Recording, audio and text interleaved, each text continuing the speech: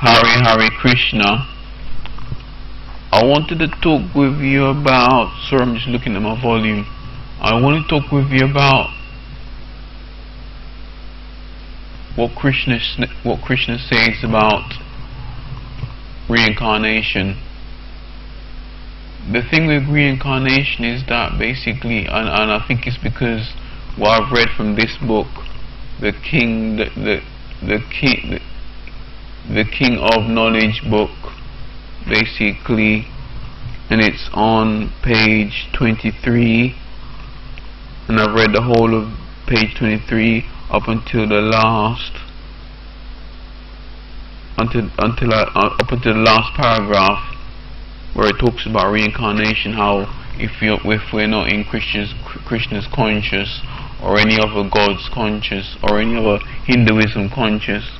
if we're not in in the conscience conscious of Krishna, we'll be will be from death to, we'll be in we'll be in birth and death.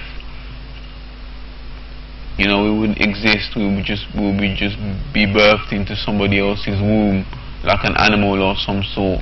But the thing is, with that, you know, if we look at around us, around the world, if if if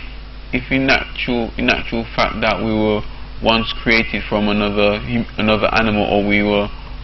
we were we were in the same place as we we were, we were, in, we were in a different we were in a different body many years ago like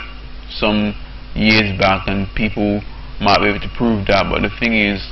if that was a previous suffering and that person gets a chance to be a human to an animal or an animal or an animal back into a human being the thing is that if if for example the the the, the human being got got changed into a got changed into a gorilla after its death, gorilla or a monkey, you know, the thing is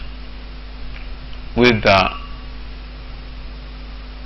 you know, there, there is a monkey actually some years back. There was a monk, a gorilla. I think it was a gorilla or a monkey that Robin Williams actually met face to face and the gorilla was, was able to do sign language with its hands and communicate. And with that you know if, if, a, if a monkey can communicate by sign, sign language I'm sure that monkey will, will be able to communicate and say you know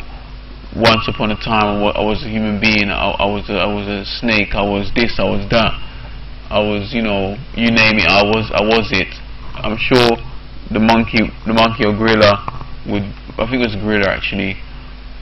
or the ape, or all the same thing anyway. But basically, if it was once, it was in the body previously before its original life as a gorilla, I'm sure previously it would, I'm sure it would have currently now communicated throughout its whole life, saying to to human beings, saying, once upon a time I was I was a human being or I was once this other animal, I'm sure if it was if if there wasn't a different body in the past, they would have communicated that with us now. And I've never heard of a animal communicating saying that you know I was once in another body or some sort, or I was in a previous previous life. And you get all these people saying, you know, I was once in another body, another body many years back, and people always use that slang as a joke or as a term. And yeah I mean there has to be rock hard evidence of somebody saying that like I've said to you before of someone actually saying that. And with reincarnation I'm sure a god I mean that could be hell in itself if you want to call it that. But I'm sure I'm sure when if if if God created you know, a reincarnation of repeatedly going into different bodies, I'm sure eventually that, that God that creates that will, will get tired of it because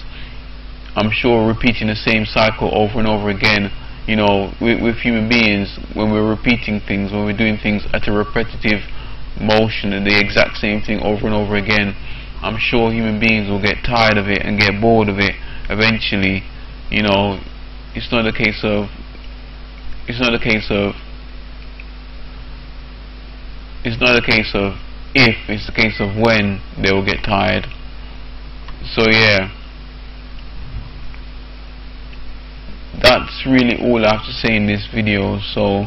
take care now and and Hari Hari Krishna